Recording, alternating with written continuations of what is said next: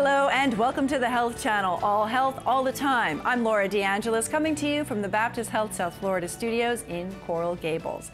Well, concussions continue to be a hot topic in sports medicine, especially with new research emerging that shows the risks of contact sports like football and the dangers that these sports can present for brain injuries. And with me today to talk all about concussions is Dr. Michael Swartzon, a primary care orthopedics and sports medicine physician at the Miami Orthopedics and Sports Medicine Issue. Dr. Swartzon, welcome. We're so glad to have you with us today. Thank you for having me back. Pleasure to be here. Absolutely.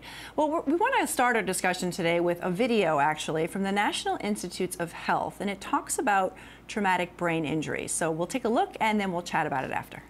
Traumatic brain injury, or TBI, is an injury that disrupts the brain and its activity. TBI can result from a blow to the head, a jolt of the brain, or an object that goes through the skull. In the United States each year, 1.7 million people sustain a traumatic brain injury. Each of these heads represents 20,000 people. Of the 1.7 million injured, 50,000 people die and more than 250,000 are hospitalized. TBI can be mild to severe. Severe TBI can lead to permanent disability and even death. 75% of brain injuries are mild, meaning they are not life threatening. In the U.S., most brain injuries in children, 55%, are caused by falls. 24% are caused by being hit in the head with an object like a soccer ball. Among children older than five, car accidents are the number one cause of TBI related death. Assault is the number one cause of TBI related death in those younger than five. But even mild brain injury, like a concussion, can seriously affect daily activities. Mild TBI can cause problems with a child's speaking or understanding, movement, thinking or memory, and personality or mood. We can all help reduce the risk of TBI in children. Use a safety seat and or a seat belt when the child is in a motor vehicle. Make sure the child wears a helmet when riding a bicycle, skateboarding, and playing sports like hockey and football. Install window guards and stair safety gates at home. Avoid shaking or jolting a baby. Okay, so doctor, there's a lot of information obviously in that video about traumatic brain injuries. Like 1.7 million people getting them a year is a lot. And I guess my first question though is when we talk about traumatic brain injury, is it the same thing as a concussion? Is a concussion the same or a type of a traumatic brain injury? So how does that fall into traumatic brain injuries? So my field of expertise is particularly sports related concussions. Right. Uh, a lot of that video talked about traumatic brain injury and when we talk about concussions on the spectrum, that's the mild traumatic brain injury. I don't want people to think that mild means they can ignore it or, or it's, Right. it's not serious. Mild simply means it's non life threatening. So it's still something to be taken seriously. So we still like keeping the term traumatic brain injury around when we talk about sports related concussions so that people really get it. Your, your brain has been injured Right. You need time to recover. You need evaluation and follow up. This isn't something to ignore. This isn't something to move past. Um, I, I think the attention that we've been getting with concussions recently has been very helpful. Okay. And again, just to also give the definition, I know you're focusing on, on sports related concussions, but when we hear concussion, what is the definition? What does that mean? So, my definition of a concussion uh, is any change in the neurological status of a person. Okay. So, their, their memory, their balance, things like that, after any kind of trauma. Now, they mentioned in that video a car accidents. Right. Sure, that, that can be a big trauma. Um, they also mentioned if you get hit in the head with a soccer ball. Yes. It doesn't necessarily have to be a hit to the head. It's any blow anywhere that results in force to the head. Okay. Right? So the brain sits in the skull, and you could kind of see it in the picture. Sure. Right? And there's a space between the bone of the skull and the soft tissue of the brain. In that soft tissue, there's a liquid, the, your, your cerebral spinal fluid, Okay. and so it acts as a buffer. you can kind of think of it as a yolk in an egg. Okay. Okay. Sure. And so even if if you pushed me and I'm holding the egg in my hand, the force is still going to go to my hand, and if I shake that egg, it could cause a problem, Okay. right? Even if the egg doesn't crack. Right. That's a great analogy, actually. A good way, I think, to put it all into perspective. Now, uh, in that video, a lot of it was focused on kids. Uh, but one thing we should point out is that concussions don't just affect children. I mean, this is something anyone can get at any time. Correct. We worry most about children because uh, it's the hardest to to um, actually figure out because sometimes they can't speak to us that well. Right, so we need to be very sensitive to, to the barrier between the, the medical knowledge that they might have. Okay. Uh, adults are, are just as susceptible to concussions as children. Um, adults in, are, are bigger, um, they stand taller, they engage in behaviors, they, they drive more, uh, there's more at risk for, for car crashes and things like that that can still cause concussions. We worry more about kids because they play sports and we want to keep them safe.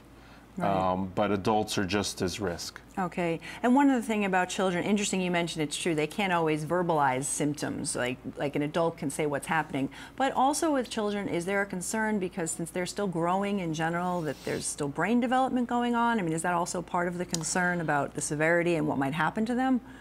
It's more about how uh, long it might take for them to recover. Okay. Right. Kids are, are usually put under a lot of stress at home, Right. with uh, with their parents at school, with their friends, and with their their homework, um, and then you know whether it's uh, sports or not. It, it doesn't matter. Um, they're put under pressure from the moment they get up to, to the minute they go to bed, Yeah. especially with, with the internet and phones and, and television.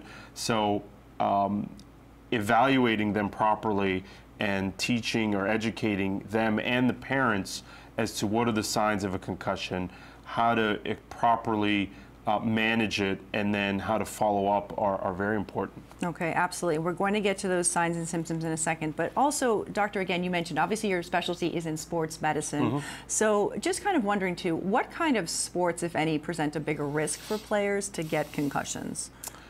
Any any sport where you will have uh, an object hitting you in the head would be number one. Okay. So whether it's a contact sport like uh, football or ice hockey, where Yeah. your your head can collide with another person, uh, or where your head can collide with the floor. So if it's a sport where you may fall down, or they, they mentioned soccer in that video. So Yes. it, you, you know, headbutting is very common in soccer. Uh, people pulling, uh, jumping, and so someone else's elbow while they're elevated can, you know, accidentally Sure. uh, uh, strike you in the head and cause um, and cause an injury. Okay, all right, good to know. And also, again, following up on, on your work in sports medicine, I know you're obviously interested uh, and, and talk a lot about concussions. And I know you also do some work with the Miami Dolphins, which is my favorite team. So, kind of tell us about your work there uh, and, and specifically in regards to concussions. So uh, on game day, I'm the, the main uh, physician that evaluates the players when there's uh, um, a cause to evaluate them, whether, Okay. uh, and, and we're very, very sensitive to um, any cause for a concussion. So in, in the NFL, there's, uh, I know there's a lot of bad media attention, but there, there really is a concerted effort to not miss a single case. There are two people um, up in, in a booth watching the game from up above, and they're watching the TV monitors. Um, I'm watching on the field. I have a neurological specialist next to me who's an extra set of eyes and an extra pair of hands in case Great. something happens. Um, there's all the athletic trainers and the rest of the medical staff, not only on our team, but on the other team. The officials are also trained to watch out for signs and symptoms of concussion. And we have uh, a very blunt discussion with the players that if they see another player having any issues, they're to come to us. Same with the coaches. So, really, everyone on the field is uh, a part doctor trying to prevent anyone with a concussion from you know us missing it Okay. Well, again, a lot of work being done. We're going to talk a little bit more too about what's going on in the NFL and what you do there a little later. But we also, of course, want to let our viewers know right away, as soon as possible, about the signs and symptoms that we should Sure. be looking for. Uh, we actually have a graphic that kind Okay. of offers a list of, of those signs. So, you know, doctor, if you could kind of walk us through and maybe highlight again uh, these signs and what people should be looking for as, as far as concussions go. Right. So you can imagine the brain controls uh, a lot of what we do. And this list really, really ties into what the brain controls. Uh, so obviously, any trauma to the head can result in a headache. Okay. People get headaches for many reasons. Uh, when people get a headache after a trauma, we're very concerned that it might be related to a concussion Okay. tr- having trouble to think normally, um, memory problems uh, are, are all kind of tied in. Then having uh, dizziness, vision problems, balance problems are, are additionally more of, of um, either your, your memory or, or the balance. Um, you'll see in, in kind of classic cases, you'll see people stumble afterwards. You know, they get they look like they're getting up normally, and then after one or two seconds, they start to stumble. Maybe they miss a step. That's that's a very good sign um, that if you see that, that person should be evaluated for a concussion. Okay, and you know, doctor, again, some of those, I mean, they're all severe, and we're talking about Mm-hmm. possible, possibly having a concussion. But things like you said, having trouble walking, Yep. uh, you know, having vision problems, vomiting, these seem pretty severe. So my one question is, other sports injuries you hear about, like ACL tears, you hear Mm-hmm. grade one or, or grade two. Are there levels to concussions, or is it just kind of you have a concussion and this is this is serious, and we just have to get this taken care of? So, uh, more than 10 years ago, we did try and grade, grade concussions. Um, at the time, the most sensitive marker for a concussion that we used was a loss of consciousness, so people blacked out. Oh, okay, yeah. Um, that was our threshold. Uh, we've since learned from you know our mistakes, honestly, Okay. um, that perhaps uh, we were we were a little too harsh in what we thought was a concussion, and perhaps people that had just headaches or balance issues or fatigue or, or behavioral problems, perhaps that was related back to concussion. And so now we look for all of those symptoms each time there's an issue. Okay, good to know. And one thing too, doctor, before we go to break, you know, sometimes people may get a headache now and again. Mm-hmm. Uh, when though should we worry? Okay, is this just a headache, or could this be something more severe, like a concussion? I mean, are we really have to think about did we have a blow to the head, or did we have some kind of a traumatic incident? What's kind of the the test there for ourselves?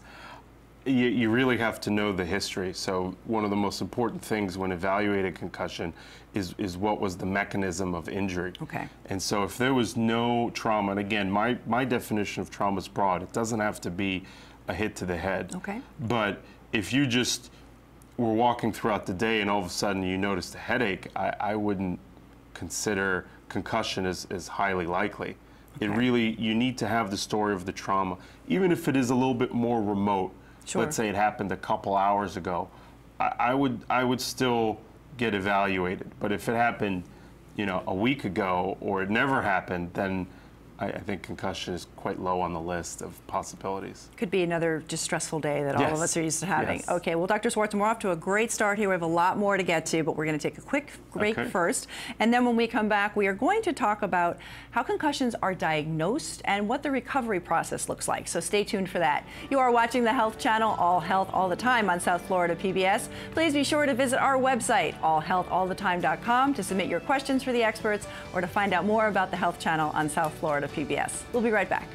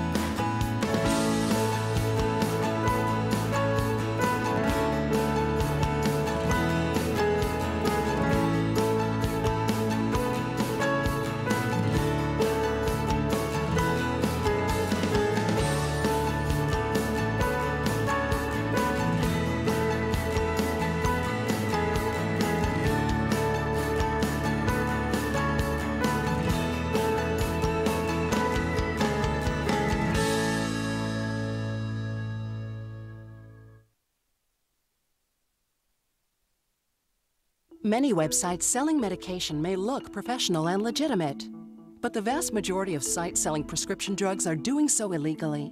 Criminals use websites to sell counterfeit medications that may contain life threatening toxins.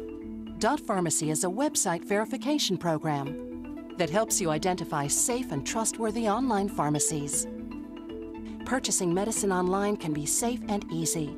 Just look for pharmacy to the right of the dot in website addresses.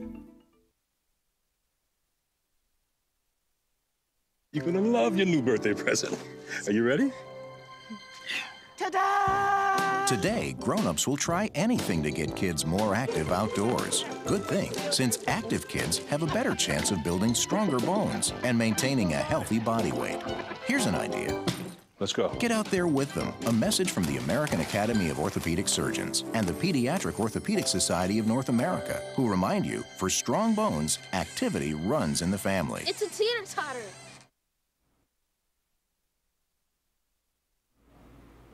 Welcome back to the Health Channel, all health all the time. I'm Laura DeAngelis. Joining me today is Dr. Michael Swartzon, a primary care orthopedics and sports medicine physician at the Miami Orthopedics and Sports Institute. And uh, we've been talking about concussions today. And again, Dr. Swartzon, we kind of started off the hour learning about some of the signs and the symptoms. And I do want to follow up on just one of those as well.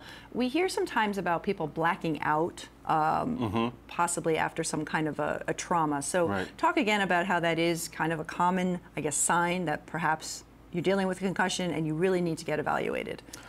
I, I would say that anyone that loses consciousness or, or blacks out or has uh, a big gap in their memory and they're not sure, um, that's probably one of the most concerning signs that you should really be evaluated. Uh, I'm not saying that you, if you don't black out, you don't have a concussion. Right. What, what I'm saying is that if you blacked out, I, I don't see how you don't have a concussion. Okay, all right, that makes so sense. So it's that serious. Okay, that's good to know. And actually, again, you know, we had a graphic before, which um, I think might not be a bad thing to look at again, because again, there are so many signs uh, that people might not even think of. You know, again, we talked about the headache, the vomiting, Right. nausea, all the way down to even changes in sleep patterns. Yes. So, doctor, when we look at these signs, let's even talk about how kind of number one crucial moment is knowing you might have a problem in the first place, right? I mean, that's what's going to get you to a doctor or Right. just get you evaluated. The the top two things on this list are probably the most concerning. Okay. So uh, headache is common symptom with a concussion. A person who has a worsening headache or a severe headache, or the second thing, vomiting, a lot of vomiting, that may not be what we call a sports-related concussion or mild traumatic brain injury. You may have a severe traumatic brain injury, and you need to get to hospital now. Okay. It's it's That uh, serious? Yeah, it's that serious. Okay, and then once, let's say that is the case, whether you, whether you have to go to the hospital or if you are seeing a doctor, how exactly will you diagnose that it's a concussion that you're dealing with? What kind of testing or what's the uh, diagnostic procedure there? So, classic medicine, um, we use our, our heads, our hearts, and our hands. Yep. Uh, and with concussions, it's a clinical diagnosis, meaning it's a conversation. Okay. I talk to the patient. If available, I talk to, if it's a kid, I, I, I the parent, Yeah. um, the coach, uh, an athletic trainer that worked with the team. Some, if they're coming to my office, this has happened some point in the past. And so, whatever information I can get from that point, um, and then I have a conversation with my patient and we talk. Right. Um, the more familiar I am with the patient, the better I know what they're normally like and can be very sensitive to any changes. Um, for the most part, stories of concussions follow a, a very sim- simple pattern, right? There was a, a traumatic injury. Right. They had some signs like what we put up in that graphic Sure. and then those symptoms persisted for a period of time. Um, by the time they come see me, normally they should be a little bit better. Okay. And so we go over how to manage it from here. Um, it, it's quite rare that people get significantly worse a few days or, or weeks later. Sometimes the symptoms persist, but it's more about educating the patient, educating the family, trying to come up with a plan for their work, their school, their sport. Um, really, with kids, we, we you know we used to talk about return to sports or return to play, and and now we talk about return to school first. Right. And so, really, we have to make sure the the student is a student, and then once that's able to happen, then we can concentrate more on sports. Yeah. And so that's a conversation we have. Makes good sense. And Mm-hmm. you, you know, doctor, you just kind of mentioned it sounds like there is a kind of a collaborative effort going on. Maybe someone who is seeing you already had something happen. You know, it might be a day or two later. So I imagine maybe the first person to evaluate that athlete might be the, the trainer or the coach who is on the field, right? So again, there, there is, to me, it seems like a collaborative team effort, if you will, to, to try to really educate people about this. So the uh, the Miami Orthopedics and Sports Medicine Institute, the, the group that I work for, um, we have a, a large community outreach program. So there is a physician or, or trained medical personnel at each high school football game. Okay? So in addition to each team having an athletic trainer who's a very qualified person to evaluate for concussions, there's also a physician on the sideline. Okay. Um, that physician is trained in screening and evaluating for concussion. So, at least in Miami Dade Public Schools, um, we have uh, very good medical care. Uh, other sports and other teams, and for private teams and private schools, you know, I, I, each school has its own Sure. routine. Um, sometimes it can be the coach, and so we do uh, go out as part of our community outreach and educate coaches on what what is a concussion? Right. Why is it important? You know, because coaches want to win. They Okay, want to sure, win, and then they want the kids to have fun as well. But Yeah. they, they want to win. Um, but the the bottom line is, if you have an athlete that's concussed, they're not going to help you win. They're putting themselves in danger. They may be putting other athletes in danger. And so it's best to, to find them as quickly as possible and remove them from the field and allow them to rest All right, and that's that kind of brings us to the next important question: is now that we've evaluated, diagnosed it, we do want to get everyone kind of back to life, back to school, back to sports. So, what does the recovery uh, process look like, and kind of what's the protocol for for treating someone who has a concussion? It starts with the um, evaluation. Um, if there's a, a baseline that's helpful, we can go over that later. Um, either on the sideline or in the office, we generally use um, a tool called a SCAT or a SCAT. Right now, it's the SCAT 5. Okay. Um, it's, a, it's a sideline concussion assessment tool. It's just a, a way for us to try and, I mentioned it's a clinical diagnosis, Right. but it's a way for us to keep some objective evidence so that visit to visit we can see um, how many symptoms do you have how severe are they and these are subjective the patient tells us and then we do uh, memory evaluation uh, um, we do balance testing Okay. and so it's not perfect Right. it's what we have Okay. um, like I said, it's mainly a clinical diagnosis, so you need uh, a physician trained in working with concussions um, for the subtleties. But it, it is a standardized tool we use. Once we use that, that part is used not only for the initial evaluation, but the follow up in the management. So we start with education. Okay, how old is the patient? So if it's a child, we talk about where are they in school. Um, they may need to miss a couple days. Right. Okay, anything that you do that's worsening the symptom that you're having, increasing the severity, is not good. So if it's watching TV, if it's playing with your phone, if it's um, reading a textbook, if it's uh, looking at a computer screen, all these things are known to worsen symptoms of a concussion, and you want to give yourself that rest. So it's mental rest, Yes. it's physical rest, it's also emotional rest. So if there's a lot of stress in the family, if uh, the parents aren't getting along, or it's just a, you know a child's going through puberty and, and there there are issues in the Struggling house, with that, right? yeah. So uh, boyfriend girlfriend problems, problems at school, um, the concussion can make that worse. Oh. And so everyone just needs to be sensitive to it. And so if we need to write a note for school or educate the parents or the coach, that's what we do. It's a lot about communication. Okay. And so that management is just protect my patient from themselves or others and let them rest. Okay, that makes good sense. And As as they, you know, as the symptoms go down, we allow them to progress in a gradual kind of uh, supervised fashion. Okay, that makes good sense. And we actually have a patient story uh, from the CDC that actually talks about how long it can take to recover and how damaging a concussion can actually be. So let's take a look at that. Tracy suffered a, a concussion in a basketball game in January of 2005. When Tracy's injury happened, it didn't just happen to her, it happened to the whole family. What a lot of people don't realize about concussions is just how serious it can change your life. It's been over three and a half years already, and she is still struggling with dizziness and having problems reading. She's been hospitalized so many times. I couldn't even tell you how many, what we're at, what, what number we're at as far as emergency visits and hospital visits. The good news is, three and a half years later, there, there is progress, so there is hope. Uh, but one of the most important things is, is to educate people so that no one else would need to go through this again.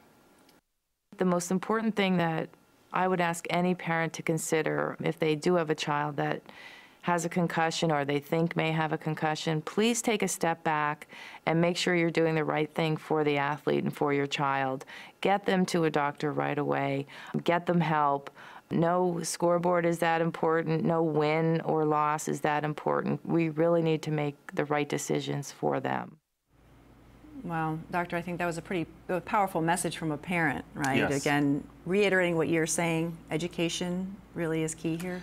Education, um, acknowledgement that there may be a problem, and then you know not not keeping your head in the sand. Yes. Um, and getting evaluated so that what might recover quickly recovers, instead of uh, leaving someone with either in their sport or at work or at school, and now something that could have maybe recovered in 10, 12 days, three and a half years later, um, she's she's struggling with Yeah. quite severe symptoms. Yeah, it's a sad story. Okay, well, we, we're going to take another quick break, Dr. Okay. Swartzon, but when we come back, we're going to hear more, and he's going to tell us about concussion prevention. We're also going to learn about a specific condition that can be caused by maybe too many blows to the head. You are watching the Health Channel, All Health All the Time here on South Florida PBS. Please be sure to visit the website, allhealthallthetime.com, submit your questions for the experts, and find out more about the Health Channel on South Florida PBS. We'll be right back.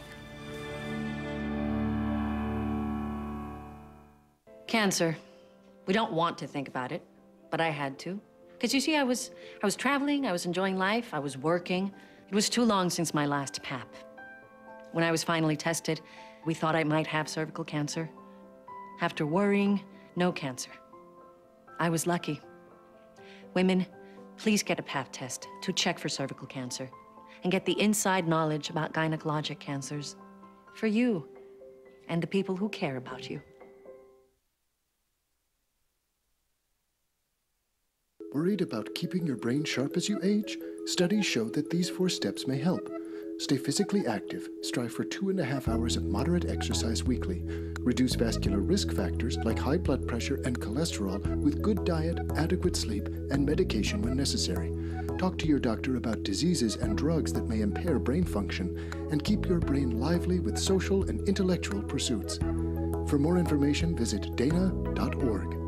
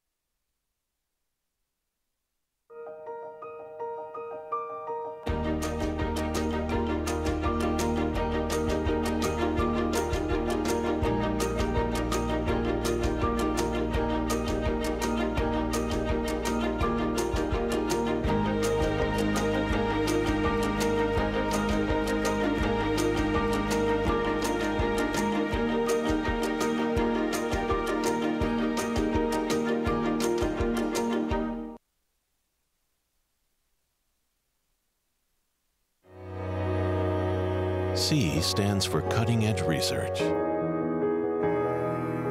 clinical trials,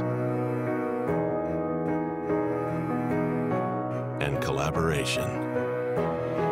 Creating breakthrough treatments as Florida's only member of the Memorial Sloan Kettering Cancer Alliance. At Miami Cancer Institute, C also stands for CURE, world class cancer care right here at home. Learn more at miamicancerinstitute.com.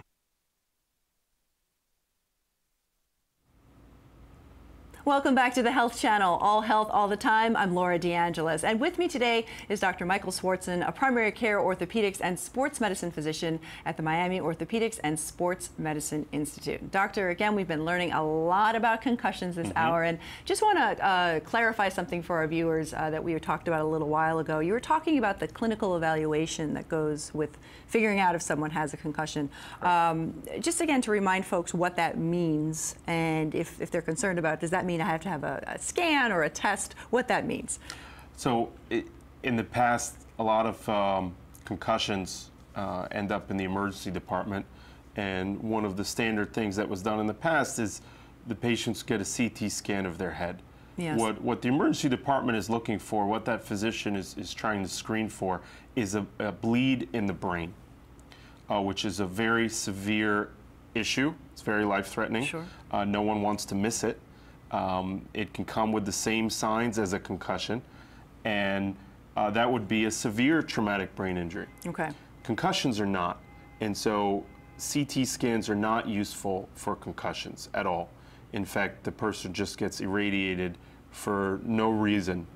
Um, a, a, good clinical exam where the physician has a conversation and does a, a neurological evaluation is sufficient to rule out uh, a brain bleed that would necessitate a CT scan. That's why I mentioned before if you have a severe headache, right. if you have a lot of nausea or vomiting, or, or things aren't working well, yeah, you got to get evaluated to make sure that's not happening. But in a sports related concussion, you don't need to run to the emergency department to get a CT scan. Uh, there was also um, a couple months ago, a blood test came out and it kind of got labeled as a blood test for concussions. Okay. No, the blood test is to check for a severe traumatic brain injury, okay. like what we mentioned. Um, and the blood test is can only be done at hospitals, and okay. it takes four or five hours to get the results. So right now, the blood test isn't as useful. Um, hopefully, one day we may have something that we can just prick a finger yeah, and and out comes. Uh, you know, a thing saying that yes, you have a concussion, no, you don't. Right. But right now, it still relies on the athlete or, or patient being honest with the person evaluating them and with the person evaluating them being uh, trained in evaluating concussions. Okay. Good to know. Mm -hmm. So, all right, let's get into again some of these preventive measures that yes. you know people were hoping they're taking to prevent this from happening in the first place, because that's how we're going to bring that incident rate down. And I guess first up, you know, people think about helmets when mm -hmm. we mm-hmm. talk about sports right now not all athletes of course not every sport requires them or wears them but we see them in football and we see them in hockey baseball and even for cyclists so uh, you know doctor again just tell us about how helmets do help uh, protect? And can you still get a concussion though, even if you're wearing a helmet? So yes, you can still get a concussion okay. while, wear, while wearing a helmet. Concussions um, are really about the motion that the, the, the brain endures, right. the acceleration, deceleration, the rotational forces. Um, helmets are great at protecting your skull from uh, a break. Okay. So skull fractures uh, used to happen in football. They can happen when you fall from a motorcycle or playing any other sport where yeah. you wear a helmet. Um, so that's what they're designed to do, and they work really well for that purpose. Now, they are working on getting helmets that result in lower incidence of concussions. We're investigating why. There's um, there's newer helmets with uh, accelerometers or sensors that measure the force you're taking, the angle. Wow. We're taking that data to try and make um, make every game safer, including football. Right. So right now, the, the NFL does testing on all um, all helmets and actually tells athletes these are the helmets that seem to be performing better than others. Athletes have a choice, right. but really, it's the same with shoes. There's also shoes. They say these shoes perform better and athletes have less injuries. So the equipment athletes wear is critical to protecting them. People don't always think about it. A lot of times, equipment is, is, is a fashion statement Right. and and that can be detrimental to your health, or it's um, or it's a financial incentive. You are um, you know, sponsored, or you have a, a, a partnership deal with Oh, a yeah. shoe manufacturer, and Yeah. so they pay you even though maybe their their product isn't. Um, the best quality compared to another one, so it really can sometimes put athletes in um, in a little bit of a bind. I would think so. or if it's a high school and, and they don't have the budget for the newest, best helmets, you know, that can also kind of be seemingly uh, not great for, for kids' health. Okay. So one one sport too. Just I'm curious about this myself. Uh, we hear about soccer and people getting concussions. I, I have friends who their kids have had soccer related concussions. Sometimes now though you see these soccer players wearing these special bands Yeah. on their head, and uh, they're supposedly for helping prevent concussions. I'm just kind of wondering what your take is on these and uh, fashion statement or effective or what are your thoughts? I hope in the future we find more ways to help prevent concussions with equipment. Yeah. Um, right now, there's no data to suggest that mouth guards or wearing a helmet or wearing a headband will protect you from a concussion Okay. or even lessen the severity of a concussion if you have one. We don't have it yet. Okay. So there's there's a lot of companies who are taking advantage of the fear that parents and, and athletes have by promoting Yeah. a product that hasn't really been shown to do that. But parents are, are worried. Yeah. They're worried. And so they're like, well, for for you know, this amount of money, I, I can maybe protect my kid and I'm doing my job as a parent. Okay. All right. So more data needs to be seen on that. Yes. Now, all right, Doctor. We know professional athletes who play in the NFL and the NHL are required to be examined if they have a serious hit to the head or they show signs of a concussion. And we touched on this a little bit in the beginning of the show, but again, talk about the importance of why you know referees, officials, everyone, if you will, on the field needs to be educated. And it sounds like there's a lot of that happening, at least with the work that you're doing. So, again, the importance um, of this team effort on the field by everybody. It's a huge team effort. Um, before every NFL game, 60 minutes before, uh, the medical staffs for both teams, uh, the spotters or the athletic trainers up uh, up top looking, uh, and the game day officials with the unaffiliated neurological consultants, we all meet. We all meet for a short meeting so that we all recognize each other's faces and we can find each other on the sideline. We're also connected by headphones. Sure. So we communicate. That's the key. We know it's real life.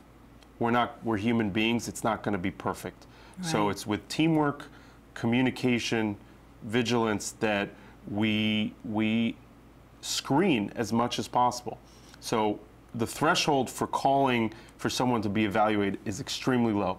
So someone with no medical training, like uh, um, official or a coach, can say, "I think this person has a concussion or might have a concussion. Can we evaluate him?" The answer is always yes. We will evaluate him now. Okay. All right. Again, good team effort going on. All right. One, one thing, Doctor, we do want to touch on because I think uh, there's been some information, perhaps misinformation out there uh, about a study that dealt with um, something called CTE. Well, that's the short name for it. I may butcher the real name. I know it's chronic traumatic encephalopathy. Yeah, you got it. Okay, that was pretty good. Um, but again, I know the study uh, found that 99% of brains donated by 111 former NFL players, 99% of them had this. So again, I just want to get your take on the study and kind of where we go from here with that information out there right now. Right. Um, Oh, and I'm sorry, doctor. And first of all, what is CTE? Right. So for our so, viewers out there. Uh, I think the traumatic part people will, will understand. Uh, chronic in medical terms means that it's been going on more than three months. So something that's happened in the in the past um, or been going on for a while. And then encephalopathy is just a term that describes disease of the brain. It's very vague. You can get encephalopathy from um, infections. You can get Okay. encephalopathy from liver issues. So it, it's not specific to just the brain. Um, it can be caused by other things with its effect on the brain. So a- lot of our, our older research kind of looks at boxing. Yes. And I think we can all agree that repetitive trauma to the head or brain is not ideal. Sure. Um, there's a price to pay with that kind of trauma, just like uh, manual laborers doing their jobs for, for many, many years, or there's a lot of surgeons that have to stand in the operating room and they end up with, with back problems. Correct. Not trying to compare the severity, but Right. every occupation has its, its hazards, um, and certainly uh, contact sports have a hazard of getting your, your getting trauma, and that trauma to the brain can result in issues. So this study looked at a very um, small subsection of NFL players. And so what they did was they, they asked if any any family or player noticed um, signs of, of like post concussion uh, issues, so neurological problems, Mm-hmm. whether it's memory loss, behavioral issues, uh, depression, a- any of those things. Why don't you send us those brains so we can take a look at them? Right. And what they found in the research is that almost all those brains had an extra protein called tau. And what this group is saying is that it's possible that repeated head trauma results in this accumulation of this tau protein. And that tau protein leads to the neurological changes that we see uh, prior to the person uh, passing away because the only way they can really see this currently is with a pathologist putting the brain on a slide looking to see how much tau is there. So this is all after death that we find the Yeah. diagnosis of CTE. So I would say the studying is, is quite alarming. Uh, we're all very concerned that the sport we love or the, the young athletes that we um, send out to play and, and have teamwork and exercise and camaraderie and, and competitive spirit may result in long-term damage. Right. We're all worried. And, and this study kind of proves that we should be worried. But because they didn't do a complete study, right? They didn't look Sure. at every brain. This hasn't Yeah. been done for um, several centers across the country with different people looking at, at the same data. We need to confirm it. We need to make sure, you know, and find out why is it these gentlemen that had the issues? Is there something that can protect them? Right. And then over time, we talked about how do you prevent concussions? You make the game safer, Right. You make rules that, you know, um, putting bounties on trying to hurt another player is illegal. You teach kids from a younger age how to tackle appropriately. Don't use your head as a weapon. We teach kids now if you have symptoms, come out, Yeah. right? Everyone can theoretically recover from an injury, and that includes the brain. The, the story of the, um, the girl that we heard Right, in the video. in the video, uh, three and a half years, a long time, but you heard the mom saying it, it is getting better. So even in some of the worst cases, it, it should get better with time. And so as long as you diagnose the concussion appropriately and let the player rest, not go back too soon, Right. That's key. that's key, then your your chances of making a full recovery um, increase significantly. And we hope that with full recoveries, we don't end up with things like. CTE. Right. All right. Well, Dr. Swartzon, again, there's a lot more to kind of learn, as you said, but there is progress going on, and that's what we're going to talk about after the break. And that is, again, some of the progress that's being made to help reduce the number of incidents of concussions in professional sports. So stay with us. We'll be back with more after this.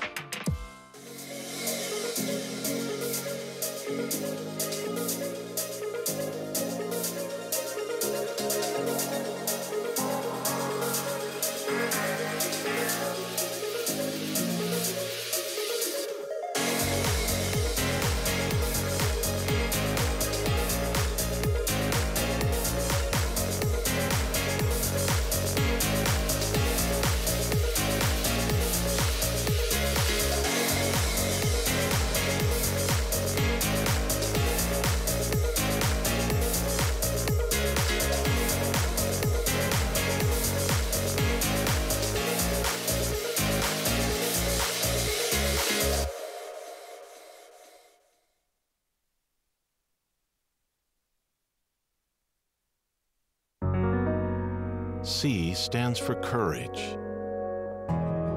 collaboration, compassion,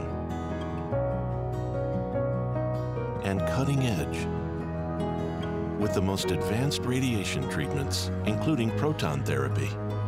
At Miami Cancer Institute, C also stands for CURE, world class cancer care right here at home. Learn more at miamicancerinstitute.com.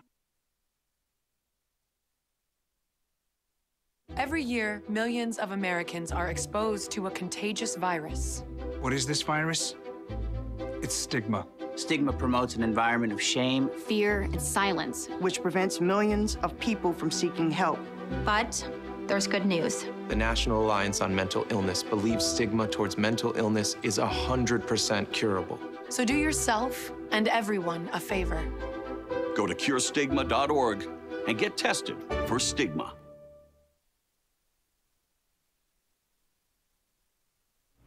Welcome back to the Health Channel, all health, all the time. I'm Laura DeAngelis. And joining me today is Dr. Michael Swartzon, a primary care orthopedics and sports medicine physician at the Miami Orthopedics and Sports Medicine Institute. Well, this hour we have been talking about the dangers of concussions in sports and why it is so important to get evaluated and work with doctors as soon as you experience any symptoms. And Dr. Swartzon, you know, we talked a little bit earlier in the show um, about work that is being done in the NFL to try to make the game, I guess, safer or just better for the players. And you, I know you do some work with the Dolphins Yeah. yourself, Miami Dolphins, my team. Um, so just curious again, tell us a little bit more about what is going on to try to make the game safer for the players out there. So I mentioned that the equipment from all levels, head to toe, is being looked at to see if there's any changes. Um, they constantly implement new rules, right? So not only is it about technique, but also, you know, you're not supposed to spear, you're not supposed to lead with your head, Mm. uh, and and this may be contrary to what players want, but this is for their protection. You know, unfortunately, you know, as as society becomes more evolved and, and our intelligence and research increases, we find that some of the things that were done in the past aren't aren't good, and we need to improve. We need to make ourselves better, and I think the players are, are starting to understand that. So one was creating a culture where um, the medical was separated from everything else. We were allowed to independently make decisions that would not fall under the team, Okay. which it didn't, but you, you could see how there's a, a small conflict of interest. Um, and so, in addition to me on the sideline, there's an unaffiliated neurotrauma consultant. So, like I said, I have uh, help that shadows me during the game and provides for uh, backup another set of eyes. Maybe there's something I missed. Right. Maybe there's something I didn't ask. Um, but we have a checklist. We have a protocol. We now have the tent. If you've seen those uh, big blue tents on Oh, the is that what sidelines, that is? That's yeah, you? I, I that's I go in There there, with the athlete because for me, I, I don't notice the crowd or the cameras. Right. But they're there. Sure. Uh, there. it's it's not the easiest thing for a player to get evaluated, knowing that everyone in the stadium's looking at them, that the camera's right in their face. So Hmm. to remove that distraction and to allow for a, a calm, thorough evaluation, we put it in the tent.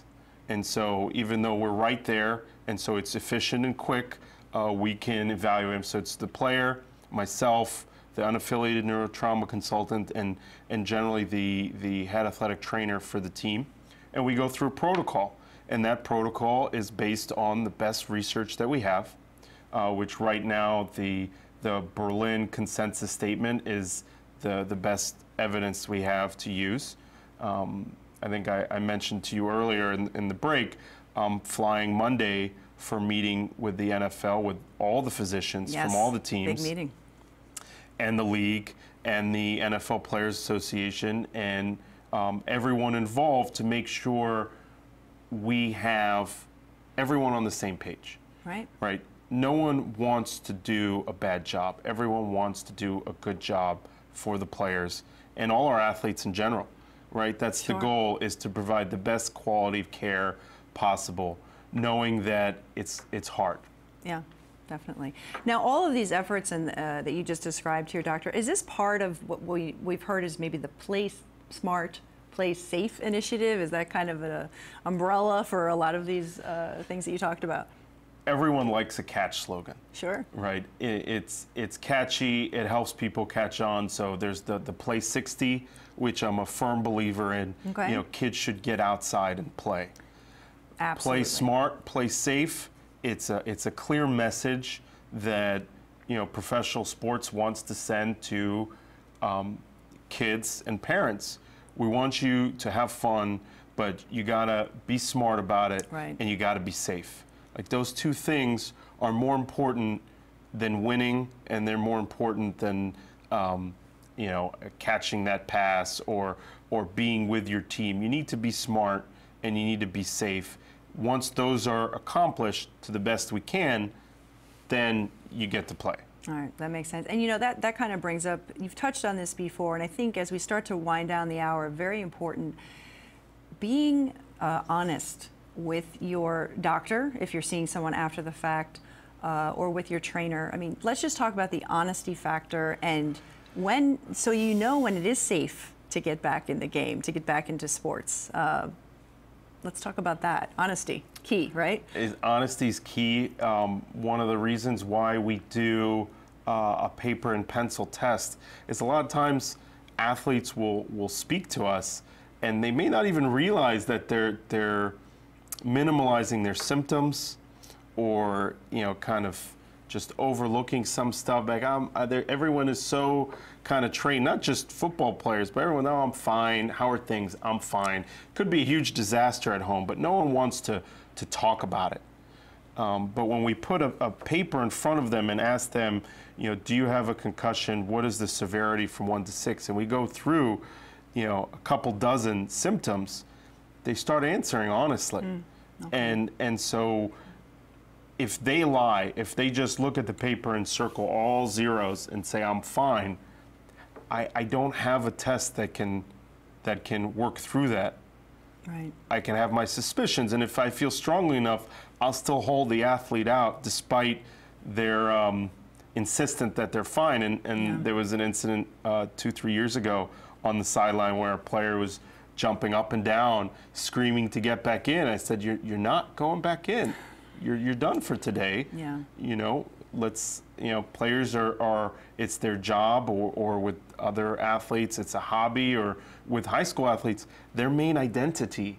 May be playing that sport and taking them out of the Yeah. sport could be devastating to true. them. So, to to take them out is uh, is the right thing to do. Okay. And real, real quick thought here. Final word of advice for parents, coaches, people in general just watching. What do you say? Be smart. Be smart, play safe, which means be smart and play safe. It doesn't mean don't let your kid play any sport Right. because we, we didn't go through this that much, but every sport has a risk for concussions, not just tackle football. So um, let your kids play, things will be fine. Let All them right. enjoy. All right, kids will be kids, but be Yes. smart about it. All right, well, Dr. Swartzon, thank you so much for joining us today. So much important information about concussions. Thank you for having me again. Absolutely. Pleasure to be here. I'm sure you'll be here again too. Okay. And thank you all for joining us today. That's all the time we have for this hour. Please be sure to join us next time here on the Health Channel, All Health All the Time, and check out the website, allhealthallthetime.com. I'm Laura DeAngelis. I'll see you next time.